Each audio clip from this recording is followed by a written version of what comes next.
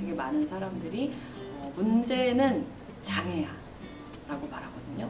근데 사실 문제는 장애가 아니라 차별이야 라고 말할 수 있도록 이제 인식이 전환되어야 한다고 생각해요.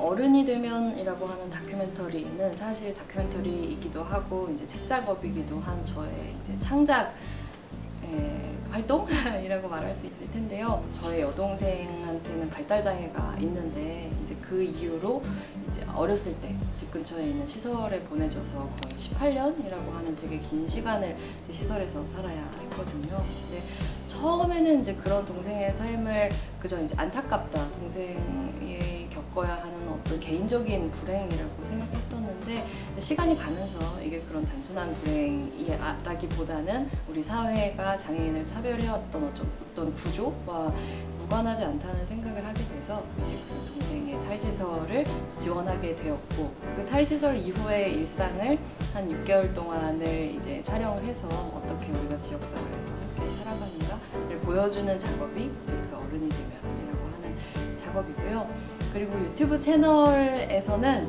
그냥 저라고 하는 사람이 어, 관심을 갖고 있는 어떤 주로 사회적인 이슈들 그리고 좋아하는 책들 아니면은 동생과 함께하는 어떤 일상의 모습들 이런 것들을 영상으로 만들어서 자연스럽게 네, 사람들과 어, 대화의 소재로 공유하는 이제 그런 채널을 운영하고 있다 고 말씀드릴 수 있을 것 같고요. 그리고 정치는 이제 제가 가장 최근에 어, 입문한 영역인데 제가 정말로 우리 사회에 필요하다고 생각하는 변화가 충분히 그리고 충분한 속도로 이루어지지 않는다는 생각을 많이 하게 돼서 어, 지금의 정치가 그런 변화를 일으킬 수 없다면 어, 시민인 내가 더 많은 나와 뜻을 함께하는 시민들의 어떤 권력을 위임받아서 직접 필요한 결정들을 내리겠다 그 위치로 가겠다라고 생각을 해서 저와 가장 이제 뜻이 맞는 정당이라고 여겨지는 저, 정의당으로 입당을 하게 됐고 이제 거기에서 2020년 총선에 출마를 준비하고 있습니다.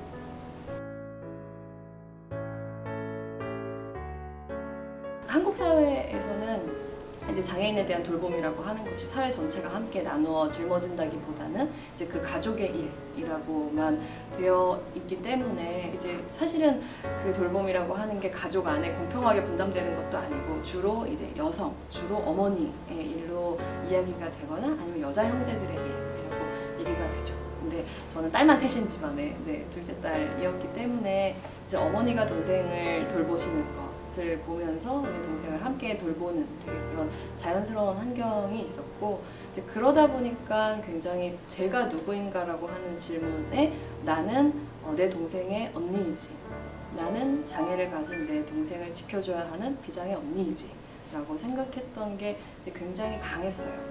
그러니까 뭔가 어떤 한두 가지의 경험, 차별의 경험 이런 방식으로 얘기할 수 없고 그냥 아주 총체적으로 내가 누구인가, 내가 세상을 만나는 방식 그 자체가 나는 나의 장애 형제를 지켜야 하는 비장애 형제, 여성. 여, 여성이기 때문에 더더욱 그 역할이 강조되는 누군가라고 스스로를 생각하면서 성장했던 것 같아요. 근데 다만 또 재미가 있었던 거는 그 한국 사회의 성역할 구분에 있어서 누군가를 지키는 거는 또 되게 남성적인 것이라고 얘기되는 거잖아요. 그래서 강하고 누군가를 지킬 수 있는 역할을 하려면 자꾸 이제 남자애 같다 라는 얘기를 듣게 되는 나 자신을 발견하고 약간 그런 경험들은 네, 생각이 나네요.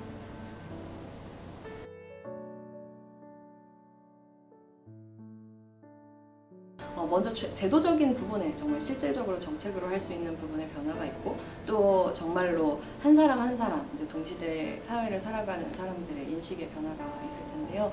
후자를 먼저 얘기를 하자면 되게 많은 사람들이 어, 문제는 장애야 라고 말하거든요.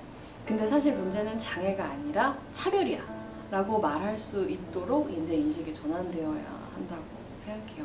우리 사회가 처음에 만들어져 오는 그 과정에서 처음부터 이제 인간은 굉장히 다양한 모습으로 다양한 신체와 다양한 정신을 가질 수 있는 존재이고 충분히 그런 점을 고려하면서 우리가 사회를 만들어 왔다면 어, 장애를 차별하지 않는 사회가 됐었을 테니까 사실은 뭔가 장애 차별이나 장애 인권을 이렇게까지 소리 높여 이야기하지 않아도 그냥 다들 한 몫의 사람으로 자연스럽게 살아갈 수 있게 됐을지도 몰라요.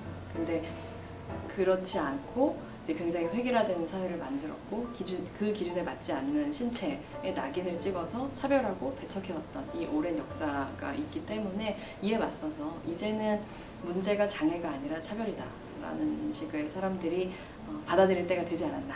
이제 그것들을 그냥 사람들한테만 맡겨놓는 건 너무 태평한 일이라고 생각하고요. 실제로 정치가 정책으로 이제 또 제도로 그런 부분에 있어서 명확한 선을 그어야 된다고 생각하는데 예를 들면 탈시설 정책을 정확하게 수립을 한다던가 정확하게 단순히 그냥 물리적인 통합이 아니라 정말로 그 안에서 화합을 이룰 수 있는 이제 아주 어릴 때부터의 통합교육 이런 것들이 뒷받침돼야 된다고 저는 생각하죠.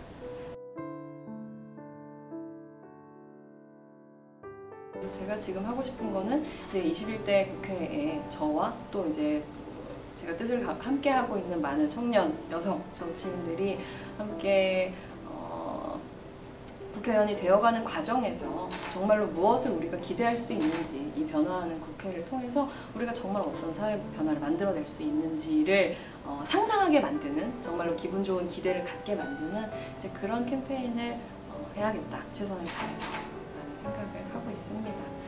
내가 내 삶의 문제를 해결하겠다라고 하는 마음을 가지고 있는 청년이라면 여성이라면 아 저렇게 하면 되는구나 라고 하는 어떤 선례를 남기고 실질적으로 그 이제 저와 함께 정치를 할 미래의 청년들이 혹은 현재의 청년들이 더 많은 기회를 가질 수 있도록 그 길을 넓게 확보하는 것 또한 제가 꼭 하고 싶은 일 중에 하나예요.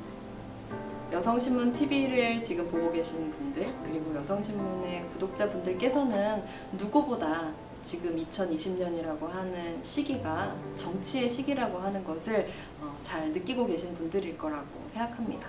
일상의 정치가 늘 첨예하게 특히 여성의 주변을 둘러싸고 있고 그리고 또 그것은 대의 정치의 장에서도 마찬가지라는 생각이 들어요. 그래서 우리가 각자의 정치의 영역에서 어, 우리가 원하는 바를 포기하지 않고 노력한다면 반드시 정말로 성평등한 국가, 성평등한 사회, 그리고 성평등한 생활을 우리의 힘으로 쟁취할 수 있다는 생각이 듭니다. 듭니다. 네, 여성이여 권력을 가져라.